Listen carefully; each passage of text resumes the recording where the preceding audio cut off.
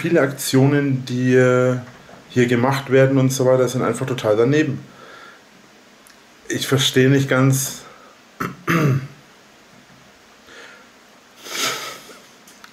Mann, ich verstehe nicht ganz, wie das Ganze weitergehen soll. Und ganz ehrlich, ich finde, dass die Regierung da irgendwas unternehmen sollte und definitiv muss da irgendwas passieren, weil so kann das nicht weitergehen.